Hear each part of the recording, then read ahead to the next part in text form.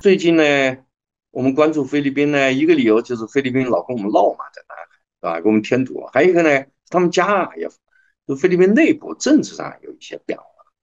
哎，就是 原来小马克思拉的那个杜特尔特前总统的大女儿莎拉杜特尔特来阻隔的。那最近呢，看来他们这个内部矛盾是加剧了，所以呢，莎拉杜特尔特就就离开了那个，辞去了教育部长，还有其他几个兼职，但副总统位置还在，所以那个就国家这边还在，但是内阁那边就就就暂时两家就脱分手了。这个，那么这个首先还是他，我估计是他内部的利益哦。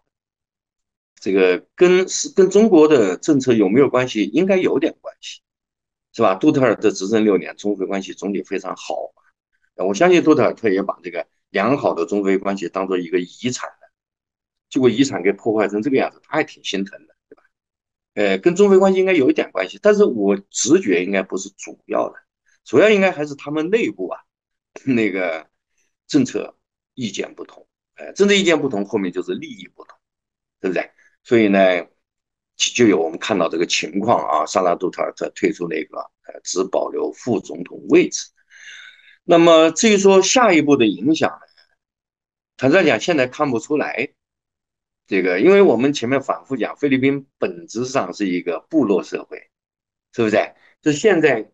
西按照西方建立的这些那个制度啊，它作用很有限，哎，实际的社会管制、社会的管理是那一百多个家族在管嘛，对不对？所以顶多是什么呢？